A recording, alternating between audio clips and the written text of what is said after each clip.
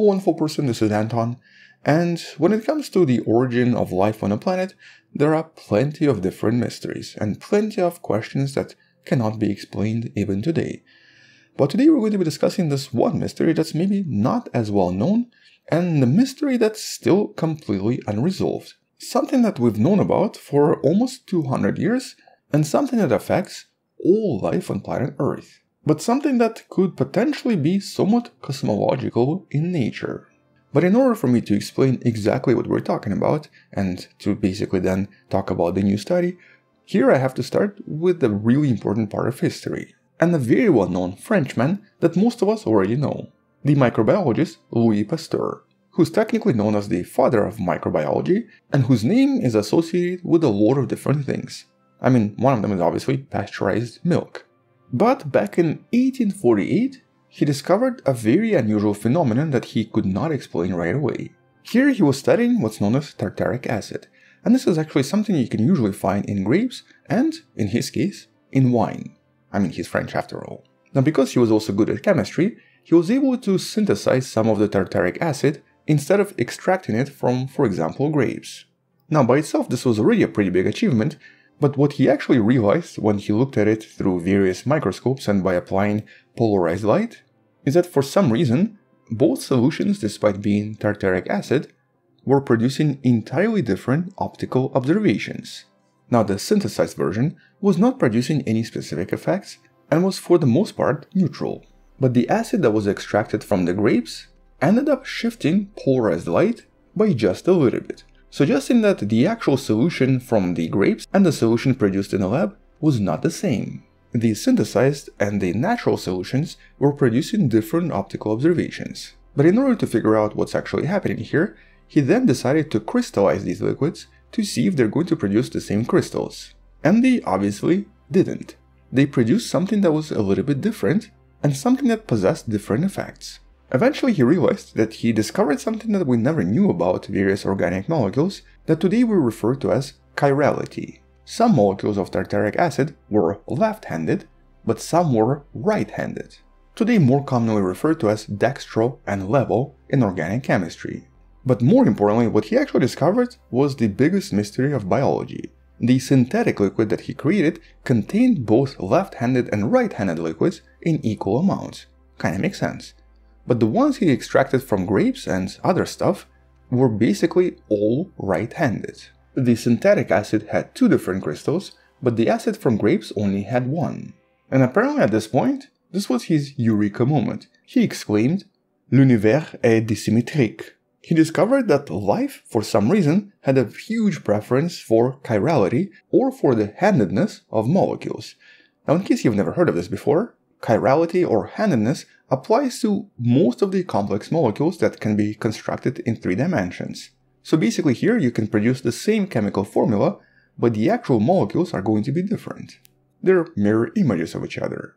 And because of this, they actually do not have the same effects. Moreover, it turns out that all sugars on planet Earth are right-handed, whereas all amino acids on planet Earth are left-handed and they cannot be exchanged for one another because they will not have the same effects. And this biological chirality, for about 180 years now, has sort of remained as one of the biggest mysteries. One of the strangest properties of life on planet Earth that really doesn't make sense. Especially because, except for one exception with bacteria, no life on the planet can use left-handed sugars. Surprisingly, there is only some types of ancient bacteria known to us that can physically change left-handed glucose into right-handed glucose in order to be absorbed later on, but they cannot digest left-handed glucose no matter what. Which also naturally raises a lot of questions. So can other-handed life exist elsewhere? Can we actually have RNA and DNA that's entirely right-handed, creating an entirely different type of life that's technically mirror image of us? And the answer to that is yes. We just don't know if it can exist on planet Earth and it's probably not going to survive here for one simple reason. It's going to have nothing to eat. It cannot use any resources produced by life on Earth because we are basically left-handed. Or our DNA and RNA are left-handed and our sugars are right-handed.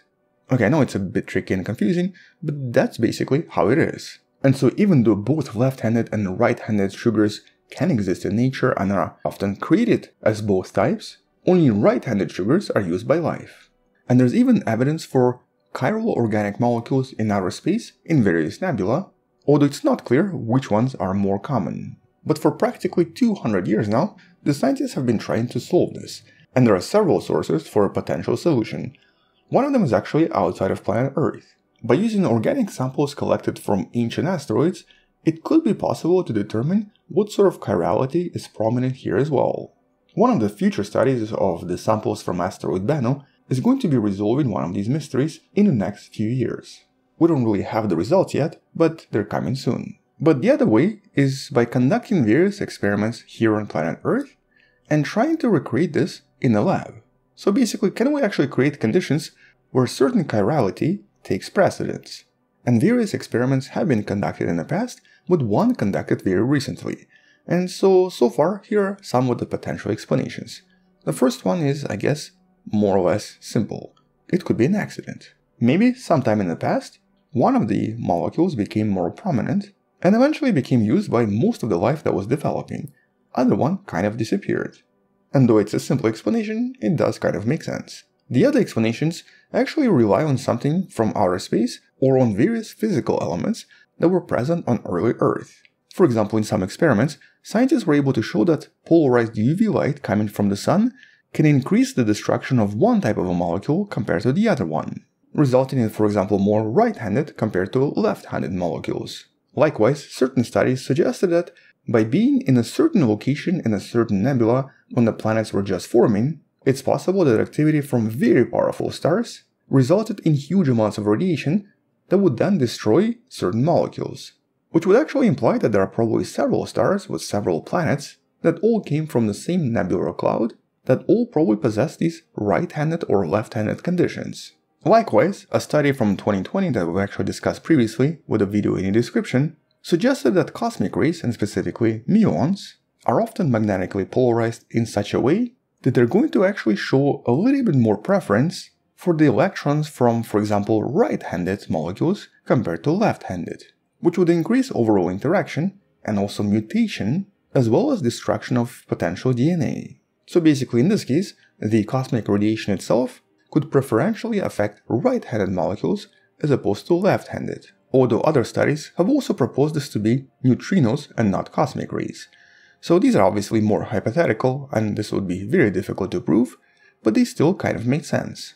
But now we have a new proposition that's actually a little bit more exciting than the ones previously, and this one involves an actual experiment that even shows the creation of only right-handed molecules. As always, the study in the description. Here it involves what's known as riboamino-oxazoline, also known as RAO. This is a very important precursor to RNA and is also either left-handed or right-handed. Specifically, it ends up producing cytosine or uracil.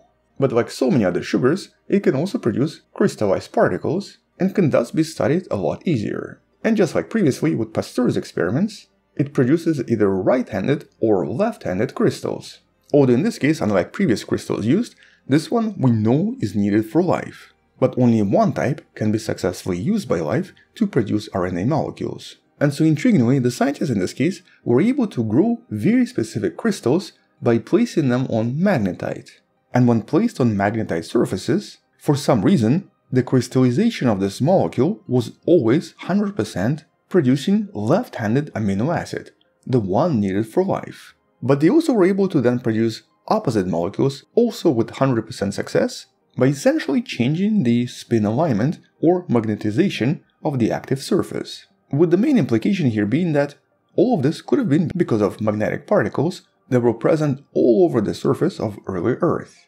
As a matter of fact, magnetite is often correlated with the existence of early life on the planet, with the main implication being that life might have a preference for handedness because of magnetite and magnetic minerals in primordial times. Although intriguingly, the scientists suggest that none of this seems to work in liquid muddy conditions, but seems to mostly work on a rocky surface containing solid magnetite. Nevertheless, here the discovery is really exciting. It produces an experiment that's easy to replicate that creates chiral organic molecules using very similar conditions to primordial Earth which by itself is already quite groundbreaking. But it's obviously just the first step in trying to figure this out. As a matter of fact, we've actually discussed previous experiments that try to create synthetic life on a planet using various sources from bacteria, and here it would be interesting to find out if someone could potentially create synthetic life that's entirely mirror to a typical life we find here, and then it would be interesting to see what it's actually going to do. Now, the expectation here is that it's probably not going to survive. It needs to consume mirrored food, it also needs to have all its sugars in mirror format as well, but on the other hand, it's unlikely to be affected by viruses, which would not be able to connect to it. And so what exactly this synthetic mirror life would do on Earth would be a very intriguing question to answer. Although intriguingly, some studies even propose that maybe if such life actually occurs on the planet, it could completely take over everything. Mostly because this bacteria, if it found some kind of a food source, for example algae that can actually use sunlight, would suddenly find itself without absolutely any predators or any enemies. Nothing could consume it, nothing would want to eat it, which could potentially lead to a major disturbance of the food chain. And though it does make a pretty cool science fiction story, apparently it has been explored many times, including Star Trek, and more recently in the Fantastic Four. So this is definitely a concept that has been explored previously and scientists have thought about before, but it's not a concept that we still understand very well. But more intriguingly, when it comes to astrobiology, the scientists would love to find out, assuming that life exists out there, is life actually mirror anywhere else, or is it always going to have same-handedness as life on planet Earth? And if so, why? But we'll explore this in some of the future videos. On that note, check out the study in the description below. Thank you for watching, subscribe, share this with someone who loves to learn about space and sciences, come back tomorrow to learn something else, and maybe support the channel on Patreon by joining channel membership or by buying the Wonderful Person t-shirt you can find in the description. Stay wonderful, I'll see you tomorrow, and as always, bye bye.